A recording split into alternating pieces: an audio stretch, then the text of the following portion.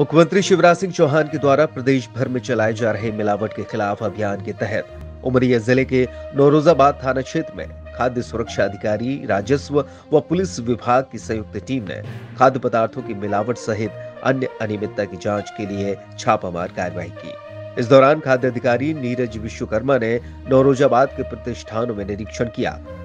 जहाँ राजा किराना स्टोर में कार्रवाई करते हुए अमानक खाद्य पदार्थों की आशंका होने पर सामग्रियों का नमूना लिया, जिसे अग्रिम जाँच के लिए भोपाल परीक्षण केंद्र भेजा गया है। नौरोजाबाद क्षेत्र से काफ़ी ज़्यादा शिकायतें प्राप्त हो रही थी। ये एक पिछड़ा क्षेत्र है और यहाँ गरीब लोगों की तादाद ज़्यादा और कुछ कालरी कर्मचारी अधिकारी भी यहाँ रहते हैं।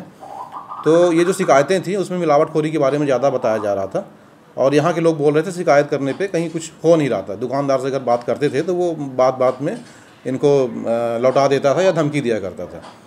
तो मुख्यमंत्री जी के, अपने माननीय मुख्यमंत्री जी के मिलावट के विरुद्ध अभियान के तहत जो कार्य चल रहा है, उसके तहत मैं यहाँ आया हुआ था और राजा किराना स्टोर जो काफ़ी बड़ा प्रतिष्ठान है और इसके यहाँ पे मिलावटी सामान की जाँच की गई, कुछ सैंपल्स भी उठाए गए हैं। क्या कुछ कार्रवाई की जाएगी? कार्रवाई तो सैंपल्स लिए गए हैं आज दो तरह के सैंपल्स लिए गए हैं भोपाल भेजे जाएँगे और जाँच लेबोरेटरी में और वहाँ से जो रिपोर्ट रिपोर्ट आएगी उसके हिसाब से उस न्यायालयीन कार्रवाई की जाएगी उस पर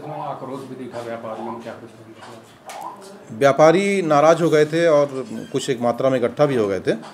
तो उनका ये कहना था जो आरोप लगाया उन्होंने वो आरोप बेबुनियाद हैं। अक्सर ये कार्रवाई का विरोध ही करते हैं। अगर उनके पास क्वालिटी वाले सामान उपलब्ध हैं तो उनको विरोध नहीं करना चाहिए।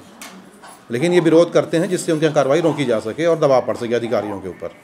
बताया गया कि बड़े दुकानदारों के द्वारा ग्राहकों और फुटकर विक्रेताओं को सामान देने के दौरान बिल नहीं दिए जाते, जो कि न्याय संगत नहीं है। गौरतलब है कि खाद्य विभाग की इस कार्रवाई के दौरान व्यापारियों ने आक्रोश दिखाते हुए विरोध किया, साथ ही बाज़ार बंद करने की बात भी कही।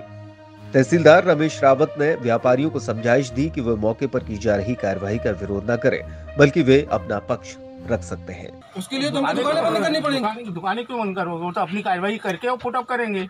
आप भी कलेक्टर ये सब रोज के नियम हो गए रोज के। आज इसके यहाँ जाना है कल उसके यहाँ जाना पड़ इतना व्यापारियों में भय का माहौल है कि व्यापारी सवेरे शटर खोलता है तो सबसे पहले एक दूसरे से पूछता है कि आज कोई अधिकारी तो नहीं आएगा सीधा कोर्ट सीधा कोर्ट सीधा कोर्ट जाना है। जवाब देने बोल तो रहेंगे। अब हम आप हम आपसे निवेदन कर रहे हैं कुछ ऐसी चीज़ का सैंपल लीजिए जिसमें बिल दे सके आप।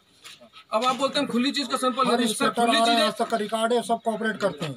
ऐसा तो अधिकारी कोई हमने नहीं देखा कि जो आगे एकदम से बिल्कुल नहीं हम चलान करेंगे अंदर भेजेंगे